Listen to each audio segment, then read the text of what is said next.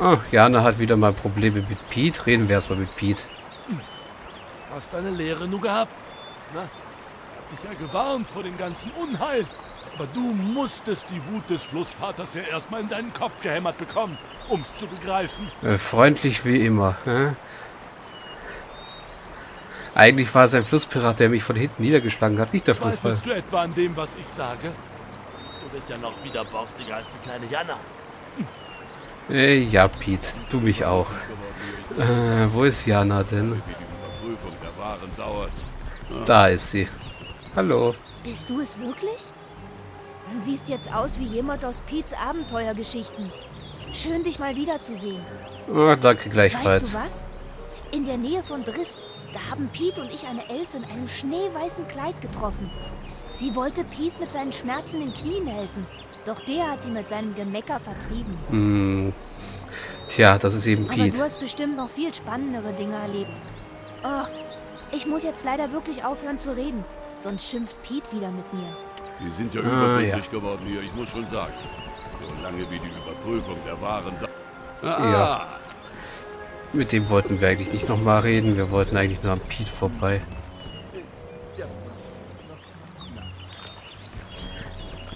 Da ist ein Erzmagier, mit dem können wir auch noch reden. Alte Anlegestelle, Phillison, Schatz des Wirtes. Ja, das sind ja alles Sachen, die wir... Fahrende Söldner, mit dem wollen wir nicht unbedingt reden. Aber die Wirtin hat wirklich was aus der Taverne gemacht, wie man sieht, seitdem wir das letzte Mal hier waren. Parzalon von Stressig, mit dem können wir auch noch Da reden. seid ihr ja wieder. Äh, können wir noch mal über Geros Kiste? Ja. Was ist denn damit? Glaubt ihr, dass Gero einen Schatz? Gero? Ein Schatz? Okay, das hatten wir ja schon. In Ordnung. Worum geht? Sag Was, das doch gleich. was verkauft sie denn? Eigentlich auch nichts Interessantes. Okay. Äh. Äh. Was ist mit dir denn? Dein Flügelhelm sieht lustig aus. Hallo, welch Vergnügen, angehende Helden zu treffen. Ich bin Parzelon von Streitzig. Ah ja, Parzahn von Streitzig und angehende Helden. Ich bin schon ein ordentlicher Held. Zu Fuß hier scheint gut Wie gelaunt. soll ich nicht gut gelaunt sein? Ich komme gerade von erfolgreicher Queste zurück, aber ein gutes Bier getrunken. Was will der Mensch mehr? Eine erfolgreiche Queste? Was denn für eine Queste? Nicht der Rede wert. Ich habe ein magisches Einhorn vor ein paar Orks gerettet. Äh, ja. Wie Ich ging das? so vor mich hin, da hörten meine geübten Ohren ein verdächtiges Geräusch. Wer auch, immer damit um sein. und zack, da sah ich ein Einhorn von sechs hungrigen Orks umringt.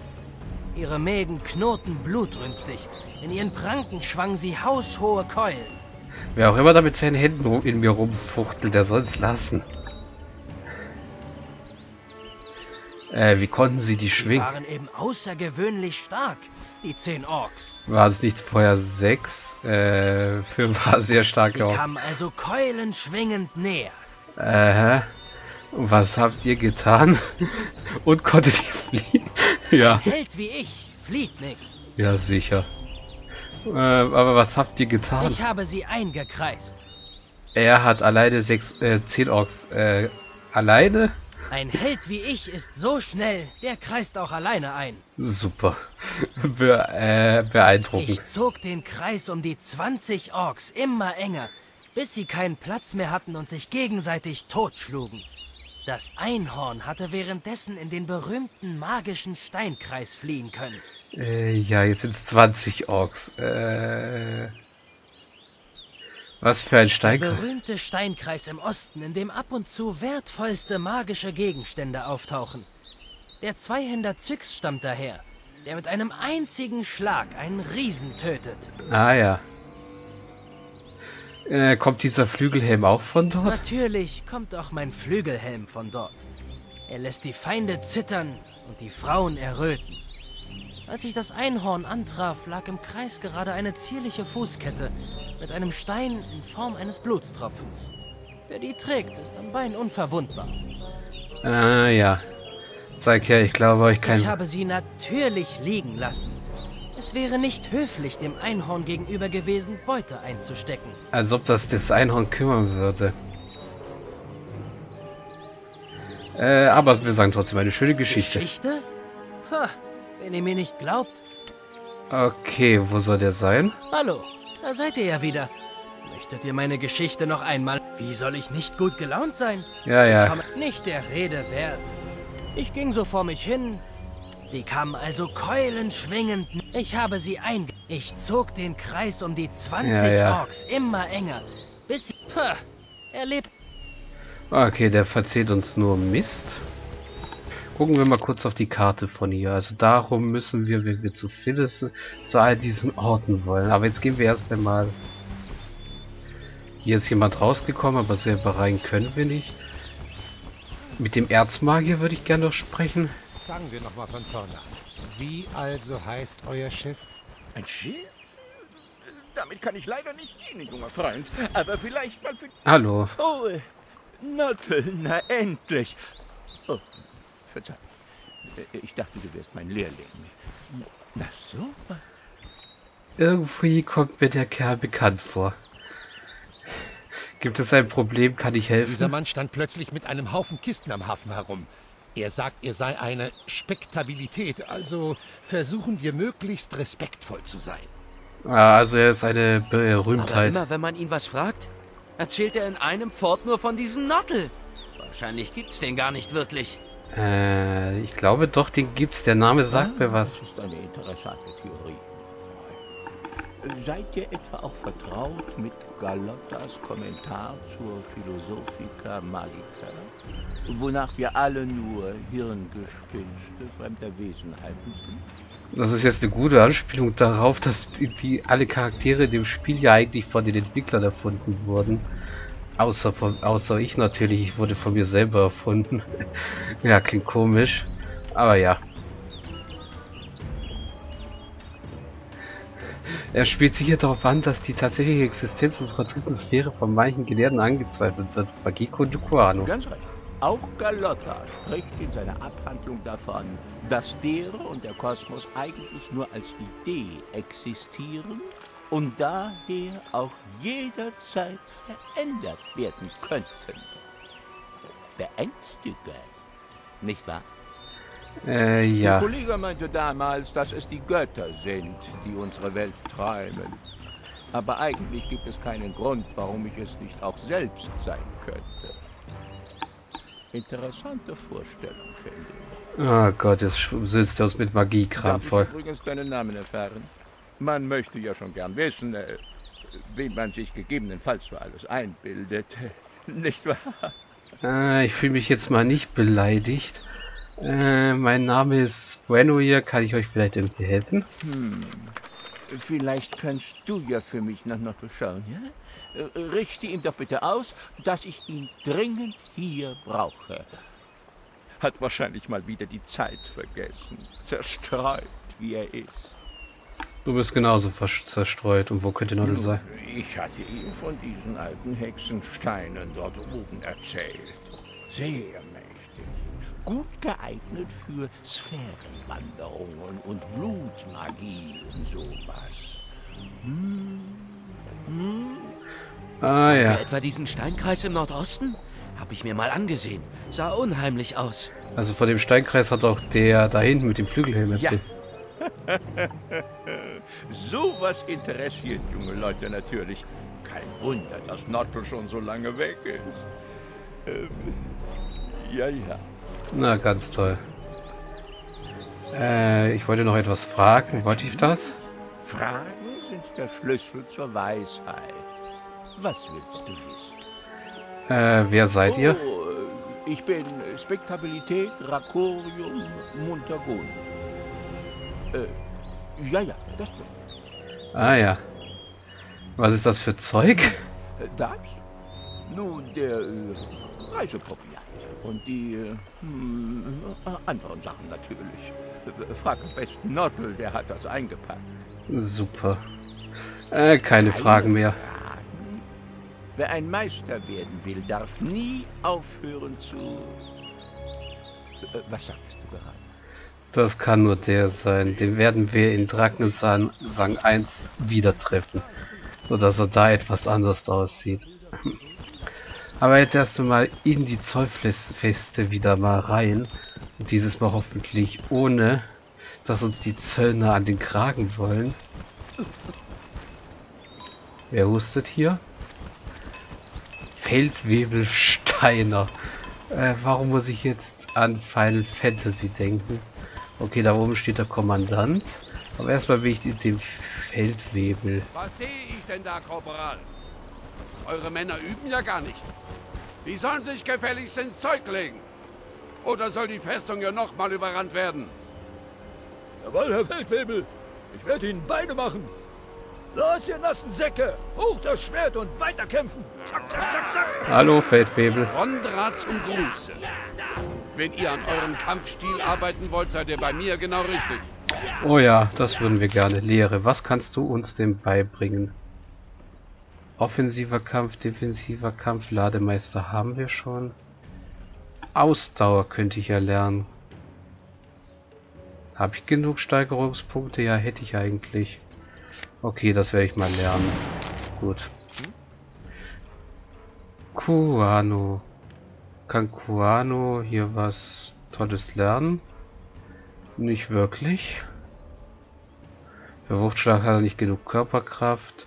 Defensiven Kampfstil hat er bereits gelernt. Nö, eigentlich nicht. Was? Wollten wir Vorgrim den Befreiungsschlag?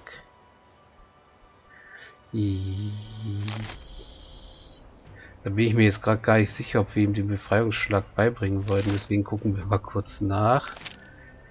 Äh, ja genau, den Befreiungsschlag wollten wir Vorgrim beibringen. Rondra zum. Ja, und zwar Vorgrim den Befreiungsschlag. Fähigkeit lernen. Gut, Dankeschön. Dann kann Vorgrim den ja gleich hier unten rein tun. So. Und dann fragen wir ihn mal aus. Ich würde euch gerne etwas fragen. gut, aber macht es kurz. Ich bin kein Freund langer Worte. Was wollt ihr wissen? Nur wer ihr Ich seid. Feldwebel Steiner, Waffenmeister dieser Festung. Ich stelle sicher, dass dieser Wappenrock hier nur noch von Soldaten getragen wird, die den Namen auch verdienen. War ja nicht immer so hier. Ist auf jeden Fall besser als der Vor Vorgänger, Sonst der Feigling. Nein, ich. danke. Wollt ihr nun was lernen oder nicht? Nein, im Augenblick nicht. Wir haben genug gelernt. Reden wir jetzt lieber mit dem Kommandanten, dem neuen. Der zum Glück um einiges magerer ist als der sein Vorgänger. Hallo. Habt ihr euch verlaufen, Reisender? Die Zollangelegenheiten erledigen meine Männer unten am Anleger. Äh, du wolltest uns eigentlich sprechen. Am Anleger sagte man mir, ihr wünscht die Mannschaft der Talachia zu sprechen. Äh, wir sind eigentlich nicht die Mannschaft, aber gut. Ah, ihr habt also die Zollfeste gesäubert.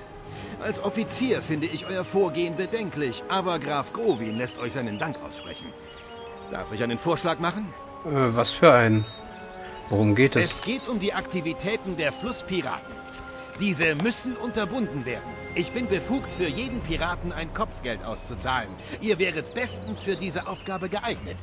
Äh, Kopfgeldjagd. Klingt gar nicht mal so schlecht. Und wie stellt ihr euch das vor? Soll ich alle Flusspiraten kidnappen und, und euch abliefern? Dies wäre wünschenswert. Aber für den Dienst, den ihr uns erwiesen habt, bin ich bereit, auf euren guten Namen zu vertrauen. Bringt mir einfach die Embleme der Piraten. Für Äh. jedes silberne Emblem bekommt ihr fünf Silbertaler. Die Anführer der Piraten sollen Embleme aus purem Gold besitzen. Dafür würde es dann eine besondere Belohnung geben. Okay. Es geht um das ihr Kopfgeld. habt Embleme von Flusspiraten? Dann lasst mal sehen. Ich habe hier ein silbernes Emblem. Nun gut. Immerhin ein Pirat weniger. Okay. Danke, ich gehe dann wieder Einen Piraten. Ja. Moment noch. Ich hätte da noch eine ähm, besondere Anfrage an euch. ja, was denn? Worum geht es denn? Das hier muss vertraulich bleiben. Eine gewisse Lucia erzählte mir von eurer Hilfsbereitschaft und eurem äh, Feingefühl. Ihr scheint genau richtig für diesen äh, heiklen Auftrag. Äh, ist das die Wirtin? Mein Neffe Helmbrecht, der nutzlose Bengel, verweigert seine Pflichten als Soldat. Glaubt, dass für ihn keine Regeln gelten. Stattdessen liest er die ganze Zeit in seinem Buch herum. Ah ja. Leider sind seine Eltern von Adel. und ich kann ihn nicht disziplinieren wie einen gewöhnlichen Soldaten. Ihr müsst mir daher dieses Buch bringen, damit das aufhört. Ihr werdet schon einen Weg finden.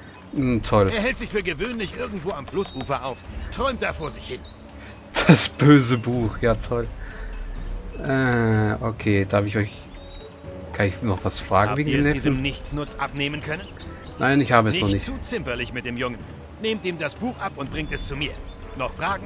Ich dachte, wir sollten mit Feingefühl rangehen, aber fragen wir ihn noch etwas Nun weiter. gut, aber haltet es kurz. Äh, wer seid ihr Ich bitte? bin Angwart von Hasingen, Offizier im Dienste Grafe Growins zu Ferdok und neuer Kommandant der Zollfeste. Ah ja, das klingt schon mal gut. Er ist äh, vom Grafen persönlich eingestellt worden.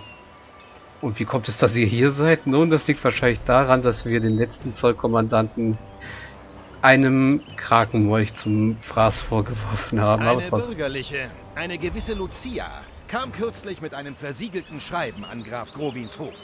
Daraufhin erhielt ich die Order, mit meinen Leuten diese Festung zu besetzen. Ach so, Lucia war das, hm, war die junge Frau, die äh, heiraten wollte. Jetzt, jetzt kriege ich wieder so ein schlechtes Gefühl deswegen. Das ist immer noch eine traurige Geschichte, wenn der Verlobte von einem Krakenmolch gefressen wird. Äh, aber Gibt keine Fragen mehr. etwas? Nein, nichts mehr im Augenblick. schwer, dem Jungen das Buch unauffällig abzunehmen. Aber eigentlich tut es mir leid. Dass er auf diesen Drill hier keine Lust hat, zeugt doch von einem gesunden Verstand. Hm. Dem Knaben kann's nicht schaden, wenn man ihn an seine Pflichten erinnert. Nicht, dass später aus ihm auch noch so ein Leichtfuß wird wie du. Okay, Fagel und Quano streiten sich wieder drüber.